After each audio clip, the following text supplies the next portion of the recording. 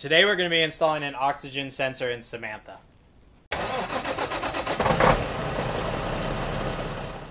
So Samantha's running great. Everything seems to be working well. I've ran it a few times and um, there's no leaks. Nothing's really going on at all. And she runs and drives very well. I'm gonna drop an oxygen sensor in the in line um, just before I take it to go get smog to try to eliminate any problems that I have at the smog shop. So here we are underneath Samantha, and I'm under I'm on the driver's side underneath the door for the most part, and you'll find right before the cat is the O2 sensor. Um, I'm a little concerned that it's going to be a pain in the butt to get off because it looks rusted. So um, we're going to try it and see if I can break these things loose at first, and then I'll resort to uh, some penetrating lube or something next. So we'll see. Let's see, I need to go righty tighty, lefty loosey. Which way is that? That way. I need to push away from me. Oh, that one came off nice. Let's see how this guy goes. Oh, yeah. Awesome. Awesome, awesome, awesome. I was a little concerned about that. Uh, these are 12 millimeters, by the way. I'm super excited they came off that easy. And then you just pull your O2 sensor out. Um, and then this is connected back here a little bit farther. All right, so right here is the um, wiring little harness, the clip for the O2 sensor right here. Um, and so you got to push down on this tab. I was trying to do it with my thumb. I couldn't get it, so I got a screwdriver. So I'm just going to put the screwdriver in there and pry down and and pull it apart. So that's that. And now we're just going to replace this with the new one. So this is the Bosch way of doing it, and it's actually uh, semi-confusing. Um, because it gives you a whole bunch of different types that there are of that they make, and then you have to find out which one works for your sensor. Um, so we found out that this one's actually a Type B. So our OEM has four colors. It's got a blue, black, black, and white. The Type B has is blue, and it's the only blue in here. So that's really what we were looking at. So the blue is a black wire, and if you follow that along, the black is a white wire, and the white is a gray wire. So uh, just by process of elimination, that leaves another white wire on this side so that, that we're going to match those up.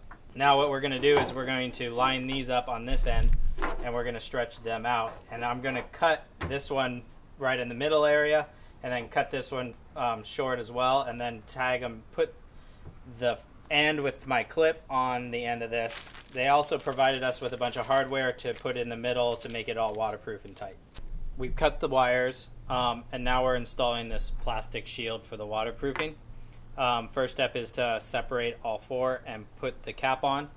Then we are going to put these four waterproof parts over the top of each of these wires and push them down and over. And that's going to bring them down inside that cap.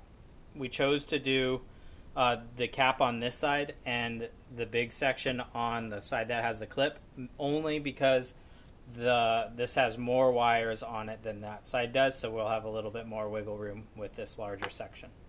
So what we did is we took special care of making sure that we're lining all these up. It's kind of bizarre, but uh, the blacks on the old clip match up to the whites on the new, so that's funny. And then our white and gray match up, and the blue and the black match up, so that's how it's laid out. Um, we're setting these all up right now so that we can just start to pull them through. And then these guys act sort of like butt connectors. Um, they unscrew on each end here. And then you're going to stick these over the wires. And then push them onto here or over the top. I kind of fray that guy out a little bit push it over the top, and then screw it together. Which is kind of difficult. And it'll squeeze it all together.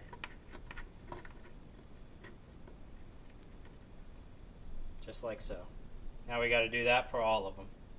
All right, so now that we've got all these connections done and all the waterproofing in place, we are going to slide this down and over the top.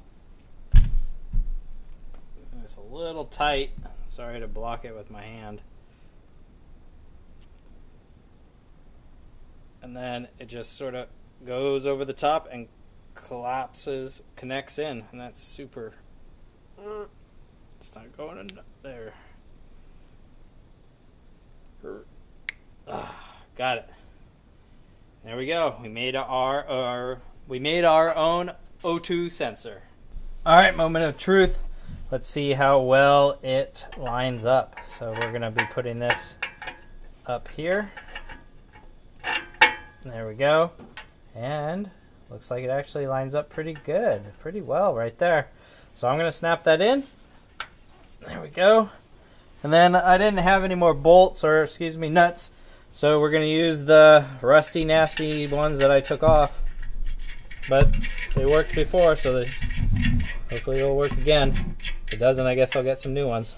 Alright, now let's tighten them up.